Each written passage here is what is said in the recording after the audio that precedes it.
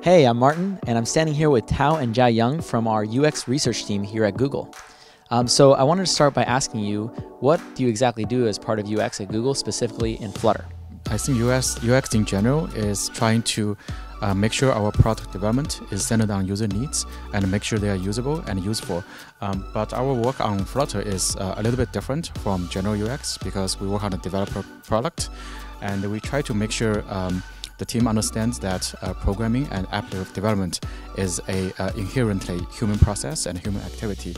We want to make sure the features, the documentation, the API we design and implement satisfy user needs and allow the uh, developer to move as fast as they could without uh, frictions and, uh, and themes uh, when they use our tools.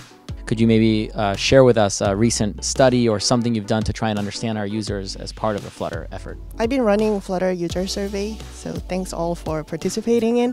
Um, we've learned a lot from our users, and our main goal is to bridge the gap between the users and our engineers so that we can help our engineers to prioritize their time and effort in developing Flutter. So, in doing these types of things, um, was there something that was surprising or shocking uh, as you did these research projects? Uh, yeah, so we had a recent uh, online experiment where we look at uh, different ways to improve our error messages.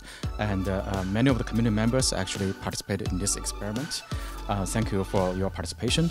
but one thing we found is that adding a little bit of styling in the error message, like color or structure, and and maybe omitting some of the details, can greatly improve the error message comprehension by sometimes 30%. So we're exploring to formalize these guidelines to make sure Flutter's error messages will be more usable and, and easier to understand in the future.